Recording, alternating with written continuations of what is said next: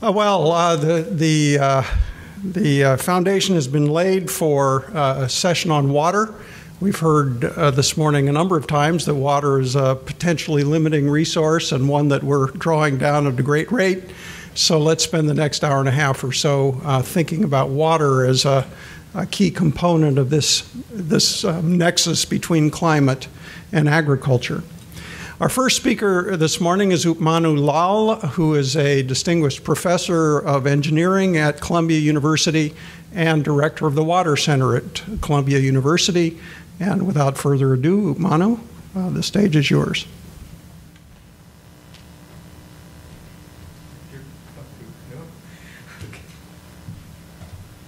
All right. Well, uh, thank you very much for inviting me to come and talk. Uh, it's sort of embarrassing because there are so many people that you have are, who are doing much more interesting work than I am on this topic. So I don't know why they had me come over. Um, anyway, I threw this question together, and uh, my plan was you see the question, and I'll say yes and go sit down, and we'll be done. Uh, I guess you aren't going to go for that, right? Okay, so the this peak business, peak oil, peak food, peak water keeps coming up. And the person who's been preaching peak water is Peter Gleick uh, out of California. And I wanted to throw that up as the starting question because that sort of is, you know, it's almost what you ask once you throw this question up to begin with. And if you parse that question, obviously you look at what's, what's going to be the supply in the future for water. The climate change question typically comes up. And what's going to be the demand for water in the future. I'm going to try to weave the two things together um, and I'm going to advertise the way I think about this issue, which is perhaps a bit different from the way many people seem to talk about, particularly in the climate change context. And that is, uh, many people think of every input as what is available. That is on average. And I think with water, that's the wrong way to think about the problem. It's the variability, the availability of water in space and time, uh, essentially the volatility aspect, that's more interesting from an agriculture point of view and a sustainability point of view and provides the link with climate. So I'll try to build that, but I'm going to reverse the order in which I do this, and I'll talk about that right at the end. Um, in terms of how we address uh, the availability of water and the variability, the obvious hint is to climate and variability, but you know, we've tried to solve that in many ways through technology. So the quick hint there here is that we could look at technologies not for agriculture necessarily, but definitely overall in terms of water reuse and purification. There are people who now want to talk about reverse osmosis and using that for agriculture, and we can think about that. I don't think that's the direction to go necessarily. Um, greenhouses, some people are doing interesting things with condensation of evaporate and using that. There is the so-called Sahara project from the Germans, which is also way out there and interesting. Uh, I'll talk towards the end a little bit about geoengineering and uh, weather, climate, and we'll see where I take that. There's the ocean cultivation story. This is tied to the GMO story to a certain extent. There are people who are looking at ocean margins uh, and genetically engineering crops, particularly rice that can grow in ocean margins. So that's another source that we could look at. And if you view agriculture broadly, there's aquaculture. So that's a totally game there. Uh, there's possible innovation in storage and distribution, so we could discuss that. Finally, on the demand side, since we are focusing on food, stay with that. And the big story here that I think we need to focus on is what are the opportunities for conservation or shifting use, and I'm trying to develop that story. And there's the diet, the training, the water use efficiency storage stories there. But more importantly, what we don't talk about is the integration of economics and food and water storage. So the economics here is not just the cost of cultivation and what you do with it, but also the financial securitization of this enterprise, because that can issue interesting signals in addition to the price signals as to the kind of things you do. So that's overall what I'm trying to do, and the way I've got it structured is uh, perhaps obligatory, because there's so many people who have now built a cottage industry of doing these integrated model analyses and scenarios. So I'll talk a little bit about what these people are doing and whether or not it actually is useful. Uh, and whether or not it's qualified by looking at water use trends. And the question I ask is, are these scenario builders capable of explaining what we have seen in the past? If they are, good, uh, maybe they're not. So we'll see what the utility is. And then finally, I'll talk a little bit about some work we have done in India um, as to improving the water situation in the context of agriculture as a way of thinking about what it could do in the larger context, and finally climate variability. So starting with um, some way that water people typically talk about this stuff. So the top left picture is a picture from the World Water Assessment Program from their 2012 report. And what they are doing is they are putting these beautiful pictures up of where in the world there is no water scarcity, green, where there's physical water scarcity, where light blue is where they are approaching water scarcity there, you know, and definitions. And lastly, the darker blue is the economic water scarcity, where there is water, but the, the, the economics doesn't allow you to actually develop access, storage, and distribution effectively. So there's various ways these people do that, but the reason I have this picture here is not to talk about their metrics of water scarcity, but to simultaneously show you the population projections and where people think the populations of the world will grow by 2050, the 9 billion question in a way, 30% increase from where we are today. And what's surprising here is that essentially they're putting most of this population growth in areas which are significantly water scarce. Okay? And I wonder just at the zero level saying, okay, is that really going to happen? You know, because for that to happen, if it's food, if it's water limited and food limited, and it could be water limited because of economic scarcity or physical scarcity, it still is limited. And that economy is not going anywhere unless there's outside help. Are we going to be shipping food to these people and creating a dependence? Are we shipping other things to these people to create that dependence? Or if this projection is true, are we creating a situation where there's a strong economic diffusion argument and people will move out of those places? So the equilibrium sort of projections people make on individual elements don't sort of ring true to me when at the outset looking at something like this. Uh, so the next sort of thing to put up, I think the top set of graphs was put up by uh, Max earlier, uh, but the there are three sets of graphs here, and the collective statement that I want to make from them is that yes, we've had dramatic increases in agricultural productivity in terms of yields per unit land area, but in many of the places they're starting to plateau out, and that's what concerns people. And where these plateauing things are happening, the argument is that we have reached technological barrier, and maybe part of the technological barrier is related to the picture on the bottom left, which is that we have had a dramatic increase in irrigated agriculture, and some of these places we have sort of reached the limit of what is going on. That's the limiting factor. And the interesting thing about what this group talks about in terms, this is a PNAS article, you know, this slide will be a real review, I guess. So the interesting thing about this is that it really hits the variability point home.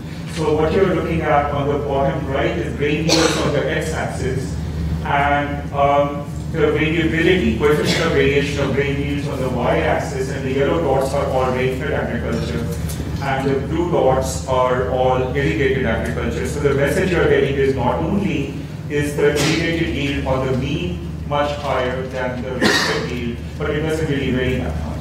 Okay, so that gives you the stability that you probably need in terms of meeting food security. So that's the message we get out of this slide is that maybe we should be worried really because our opportunity for doing this game is starting to get limited. So another way of looking at is, is this through this graphic from uh, David Molden, um, you know, FAO report. And what he does is he plots all the different grades together and uh, on the x-axis again is the yield per unit area and on the y-axis is the water productivity. So this is yield per unit water applied. Okay, so that sort of speaks to the opportunity that you have. And he kind of draws a curve through this all the way through, and he says where the yields are currently lowest per unit area is the highest opportunity for improving water productivity because the techno technology level is the lowest. Now the interesting thing is that those areas actually cover the largest pieces of land on. So in a way that speaks to the fact that maybe water is not a limiting factor from that point of view because we have a lot of upside. Um, but we have no investment there. So, so it's not a surprise that the Chinese, being really smart people, are trying to take over lands which correspond to this particular situation.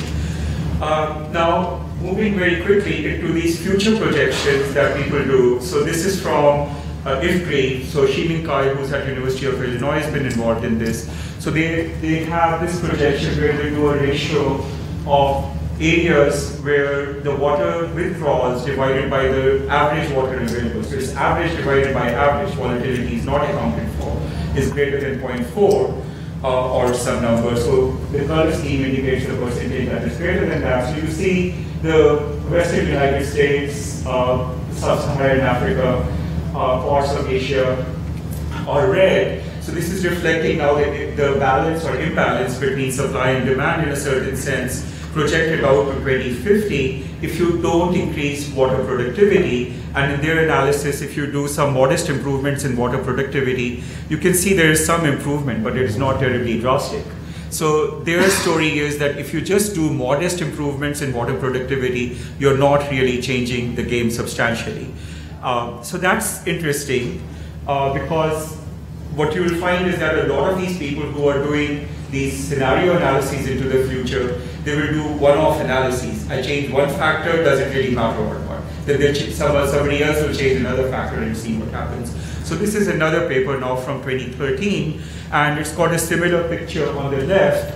And what the way these people deal with it is they say, okay, you can play this game of like how much of an impact you will have or not, but maybe you should really look at economically what does that mean. So economically what they're doing is they're doing a least cost uh, optimization for producing a certain amount of food, and then given the water constraint in every place in the world, they're looking at the shadow price, which is what would you be willing to pay to have more water in each of those places.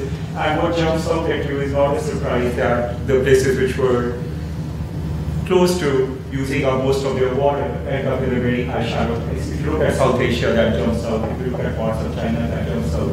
Then when they project this out to 2045, those things get much worse, suggesting that those are the places where the water constraint becomes a big issue. Again, the analyses these people do are at monthly or seasonal sort of timescales in terms of how they do it. They have a variety of integrated models that they go through, and, it, and they try to do uncertainty analyses off of them also. So the way these people did their games is they say, well, suppose we allow trading, uh, free trade, which suggests now that spatial equalization is available to you, but they don't do this in time. The trading is a, the same snapshot on average. Or we say that, okay, people are saying that diet is changing so that people are using more, eating more meat, but we are going to restrict them so that everybody equitably gets 20% meat and that's it. So that's their livestock story. And then their bottom one is if you allow trade and you allow livestock. So the main thing that jumps out at you from this is that uh, Indians don't eat meat. So if you actually allow them to have 20% of meat, that sounds like that's going to aggravate things because meat uses a lot more water. But even so, if you do allow trade and you limit livestock, what you find is that the shadow price change is about 0.5 whereas the highest shadow price they got to in the business as usual scenario was 0.8. So that suggests that those two measures by themselves could essentially by 2045 offset climate change and all sorts of other things that are going on, which is kind of interesting.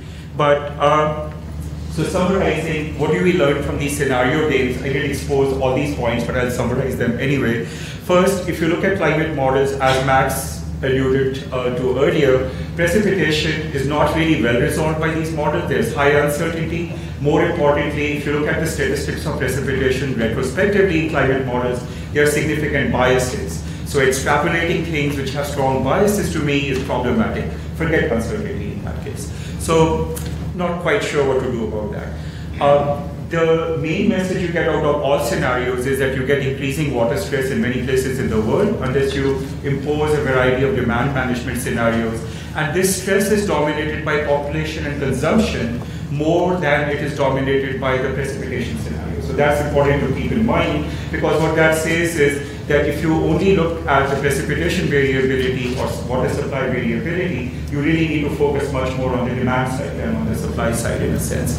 Again, keep in mind that these people don't look at the volatility aspect as they should. Uh, finally, uh, you get from these scenarios very modest gains from water productivity. And my editorial comment on that is that when the irrigation community first started putting out their efficiency estimates for irrigated agriculture, the numbers were showing up for flooded uh, irrigation particularly at only 10 to 15% efficiency. Over time, these people have revised those numbers to be 45 or so because they want to do basin averages. I really question whether that's the best way to look at it because in terms of withdrawal and application, you're still putting a lot of water out there. And that matters in terms of the constraint you have in terms of what you're withdrawing against. The implication here is that if you claim you have 45% accurate uh, efficiency, to go from 45 to 55 is a modest increase, which is what these people are reflecting. But if you're at 10 and you can go to 20, now that's a substantial increase over what you currently have. And that's the, where, where this thing becomes different. None of these integrated scenarios consider significant water infrastructure improvements jointly with conservation scenarios and jointly with looking at economic analysis. So we actually do not have a clean story to tell, is the point. Okay. So how good are these things? So let's look at the United States and see what has happened. So on the top left, I have groundwater use as a fraction of total water use, and you can see the areas where we have higher water stress as per the maps that we were looking at before we have higher groundwater use. Makes sense because the renewable supply is limited, you have to draw on something else. But look at the top right graph, and the blue curve shows you, blue dots show you what our total aggregate agricultural water use has done. The green curve shows you what has been the cost associated with that. So our costs have been going up, and our water use has been coming down. So that's kind of interesting because actually our agricultural product has been consistently going up, it has not gone down in the process. Why this has happened is that we have had a transition to different crops over this time period. We have had a modest transition to different means of doing irrigation technologies. The challenge that I would like to put before the integrated modeling community is, can you please reproduce this graphic for me using your models as to what, you know, what has actually happened here? And it's not clear that that works out. Uh, similarly, on the urban side, it's interesting, the blue curve, which is bringing up and down, uh, is the New York City water use. Uh, the green curve is New York City population. The light blue curves are predictions made for future water demand of New York City at different times. And you can see the most recent projections keep going up and the most recent use keeps going down. This is not true just for New York City. Take a variety of cities in the United States and you'll see the same thing. So my point is that we are very far away from being able to say something about water consumption. Unfortunately, and we can't hide behind huge uncertainties in climate models here. We simply do not have the wherewithal to do it, and this is something we have to address. Another graphic of the same sort, this is groundwater use globally, and you can see India really jumps up there and takes off, and within India, uh, that's the lower graphic, you see that the groundwater use takes off, and the surface water use actually tapers off despite significant investments in surface water infrastructure, and you wonder what is going on with all this. In the Indian case, I can explain to you very easily that it's the government policies of making electricity free for agriculture. So, you know, it's a free for all, you jump up. So there, if you could predict that that's going to happen, you would have a good story in your integrated scenario model. If you can't predict that, you have actually no story at all. So let me talk a little bit about India because we've done some work there. And the framing here is that, okay, can we supply water for 9 billion people for food production? If I go back to when I was a kid, you could make the same question and say you have 400 million people. We are predicting you'll have 1.2 billion people. We were not, but let's say we were. Would you supply the, the food for these people given that we were not making it in terms of supplying food for the 400 million people? Okay, so that's sort of the framing with respect to water. And the, the, the graphic here shows that essentially this is driven by economics. So if you look at the bottom right picture, it shows you average income levels versus percentage of irrigation in a district in India, and it's basically a straight line. So that motivates behavior. And what you see on the top graphic is India has one of the highest densities of irrigation of all kinds that shows up, at least in certain parts of India. So we got into this game, uh, and I've been away from India for 40 years roughly. So I, you know, going there as a foreigner, the interest was looking at groundwater depletion in selected areas and trying to understand what goes on. So one of the things that we did here was we were able to get county level data on a very high level of detail of economics, water, water and other things. So the interesting thing was that the diagnosis we had of the Indian situation was because of the desire for food security, the government of India had put in a food procurement system where there is a bunch of crops that they procure at guaranteed prices from specific locations. Even though the price is advertised everywhere, they only procure from certain locations. So in those places, effectively what happened is that instead of having a diverse crop ecosystem, you ended up with monoculture. And crops that are not exactly suitable for the application from a biological or water availability perspective. So the question I asked was, okay, suppose you maximize net farm revenue because we have all the data to do that particular computation. Where would you put these crops and would it make a difference? And so we ran this game as rain-fed and irrigated, and I'm only showing you the rain-fed results here because they were a shock to me. On average, it turns out that you could actually meet the needs of India's food procurement system with purely rain-fed agriculture. You don't even have to do irrigation. So then you look at the huge groundwater depletion and you say, what are these people doing? So this is purely shifting crops using current crop productivity at the district level and using a crop model which essentially says that if I have a certain crop water deficit, I'm going to knock percentage-wise that productivity down. And it works. And you can see how, you know, where the crops go and so forth. And the interesting thing here is that if you look at the left picture, that's the amount of storage you would need uh, to meet the crop water requirements in each place. And you can see in the northwest of India, that's severe. Okay, this is a ratio to average annual rainfall, and that ratio is like five years or something of rainfall, so it goes off. But simply by moving the crops, you basically have balance across the whole country. What does this do in terms of income? The farm income almost everywhere in the country increases except where you've moved rice and wheat out of. But remember here that the, the prices are guaranteed by the government and they could easily offset it uh, by looking at the whole picture. So this was interesting. We presented this to the government of India, the previous government. Uh, their response was to go to the World Bank and ask them to repeat our work. Uh, the second thing we've been doing in India is to actually look from the bottom up. So this was a top-down approach. So from the bottom up, we were interested in seeing what could you actually do to stimulate adoption of different technologies that are currently available.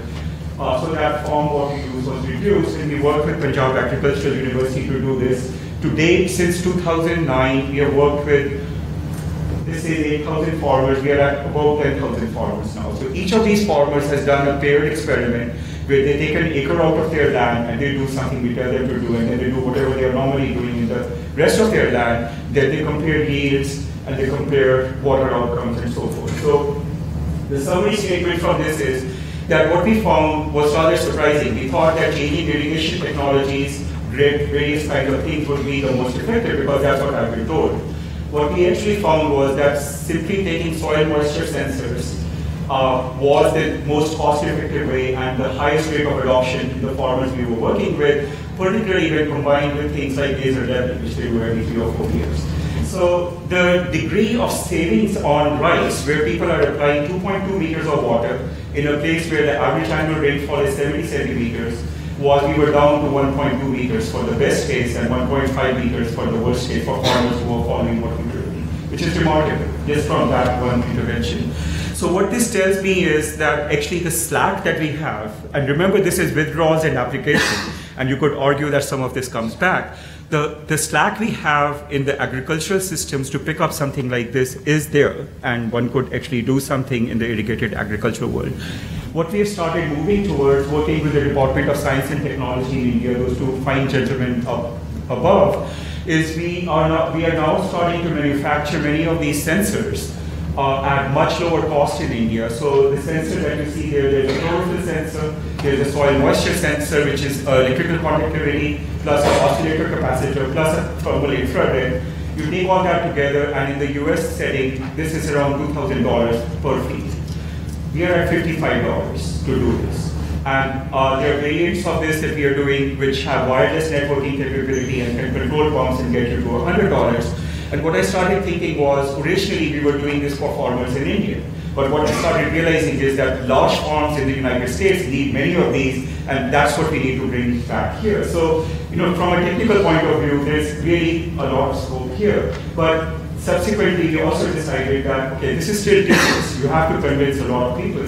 So So what we are now working with is with private sector people to try to come up with a business model where you fly drones. And interestingly, these folks came to the US, asked me, how do you get digital elevation measurements? I put them in touch with people who do drones. They were excited. They were told the US will not allow you to export this technology, so they have built the drones themselves, including the cameras and the autopilot systems. So that drone that you see there is a four-foot wingspan, it's $1,500 total, including the camera.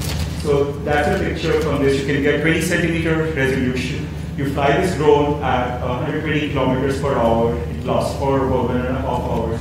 And the idea for the business model is that farmers would pay two to three dollars a month per farmer the business aggregator will provide market information, prices, will provide weather forecast information, guidance on how to use that, and guidance on nitrogen and water application, simply uh, aggregating this information across there. So that's the kind of thing we're moving to because you can get scale from this much more easily and you need private sector engagement and you can get private sector engagement. I'm not disparaging the public sector, but we feel this is the way to go. So that's the story there, and I'm quickly going to jump to the climate part of the story. So the thing I want to point out here for variability here at a global scale is the following. This is a paper by Dye and Fredberg where they looked at concurrent effects in terms of drought and flood. So that's the purple and the blues there, opposite sides, uh, during different El Nino phases. So the El Nino comes off and on, and essentially what you're seeing here is that there's significant spatial correlation across the globe, positive and negative. So when you think about price shocks and managing a global food system, one needs to think about something like this. One quick thing that I put up, this was just in yesterday's paper, is in Colombia this year, there was a forecast that this, this is going to be a fairly dry year. So the scientists advised these farmers to plant early. The Farmers Association told them not to plant. Okay? And the people who did not plant did substantially better than the people who did plant because they got screwed with the outcome. So the interesting thing here is that sometimes not planting and preserving capital is perhaps an adaptation strategy. Moving to this, uh, the work we have done in terms of our models works with daily weather data. And so there was a point that was made by of going to seasonal, from seasonal to monthly. The interesting thing is that uh, what, what I'm thinking about now is actually geoengineering weather. Uh, here's an example of uh, atmospheric river, moisture being spewed off from the tropics and landfall in California. This kind of phenomena happens routinely everywhere. This is another example of it that I'll quickly throw out. We were looking at floods in Assam, India, and uh, this is a moisture track that starts out in the tropics and goes wherever. And what we found was that in all these huge flood events in Assam, that track was actually heading for Korea and Japan. It's, it's incidental that this dump happened there. But the point is that I think we can engineer where and when we these tracks form and where they go. And that's another way to look at how we can actually adapt at a very large scale. So I'll skip this and I'll jump to my summary because I was warned that I'm using up all the time possible. So the current global water scarcity crisis basically is marked by two factors.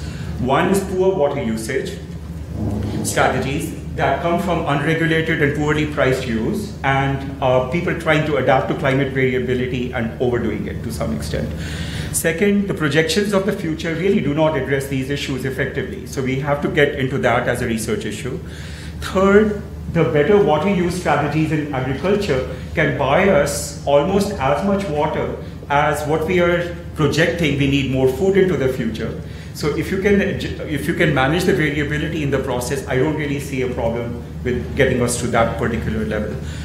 Um, the water stress issue is a problem because in a way it limits agricultural productivity, which limits income, which limits investment in improving water use efficiency. So that's the conundrum that one has to really solve in terms of aid and developing some things there.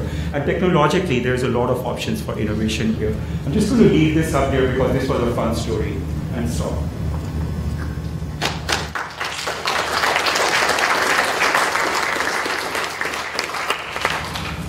We have a few minutes for questions. And reminder, there are microphones here, so all can hear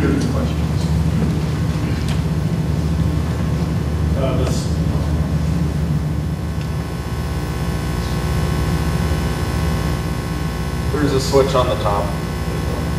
On the oh.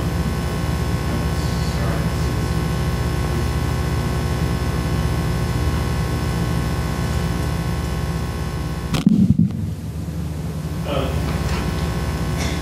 I'll talk loudly. So, in the energy uh, regime, the story about increased efficiency solving energy problems. However, the increased efficiency requires uh, affecting decisions of billions of individuals, hundreds of thousands of corporations. You're saying water efficiency will solve the problem, but you have to affect the decisions of, and how do we do that? Yeah, uh, so I'm going to hit my friends, the economists, for this because they are the experts on changing human behavior by pricing. it. So, uh, but realistically, what we are seeing is that I think where there is increasing scarcity, you have a natural driver. I used to have a perception that farmers are responsive to risk. What we have sort of learned through field interactions, and this is anecdotal, is that their first priority is increased yield. Their second concern is risk. Risk is gone.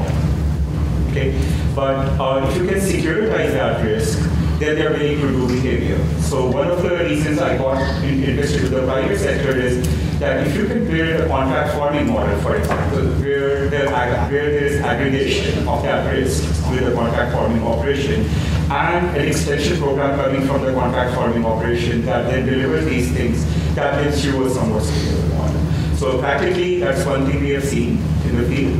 The second thing we have seen is farmers seem to love technology. So if you give them crappy technology, we get we got high adoption rates until the thing started failing, then they dropped out. The minute we gave them the electronically based stuff, which these people, the amazing thing in Punjab in India is you have 90% or higher uh, cell phones and 60 or 70% smartphones out of these people. So they, they, you give them good technology, they want.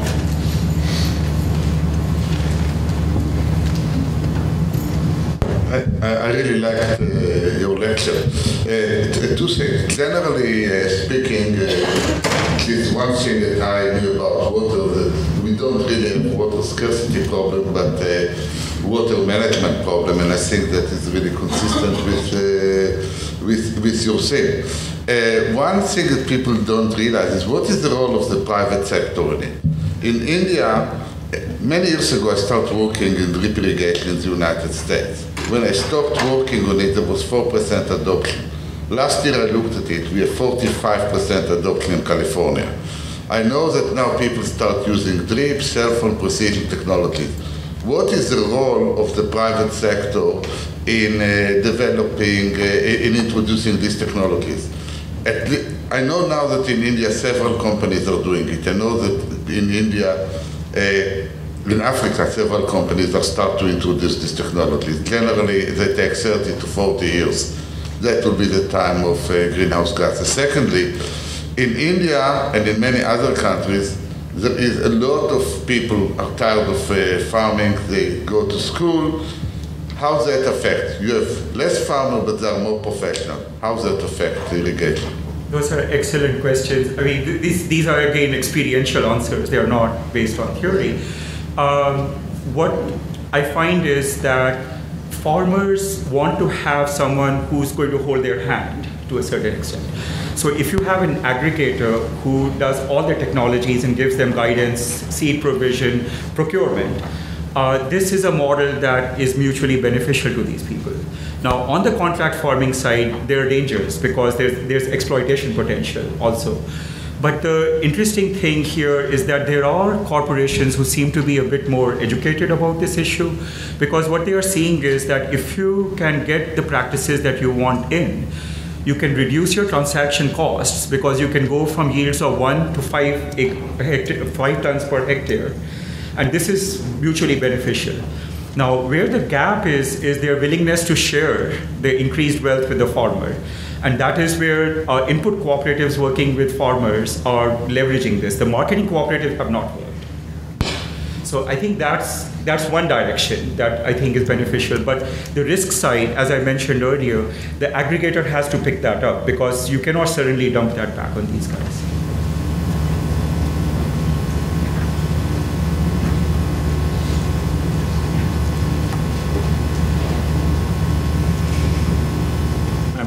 From the same university. We should talk more often. But uh, my question is, um, we understand that about two-thirds of the water used by agriculture uh, is subsoil moisture, or the so-called green water.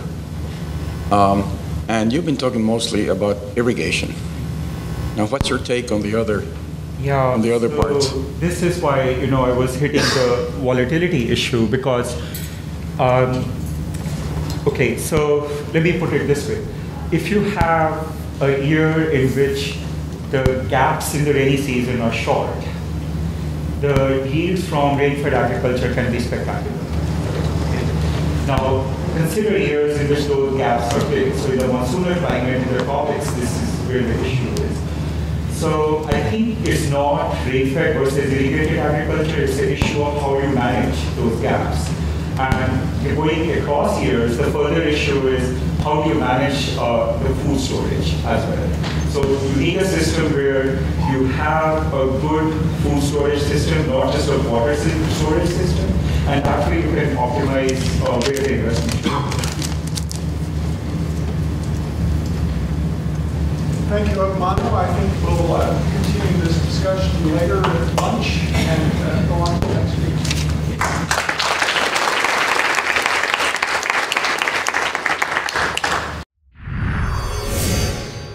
Illinois.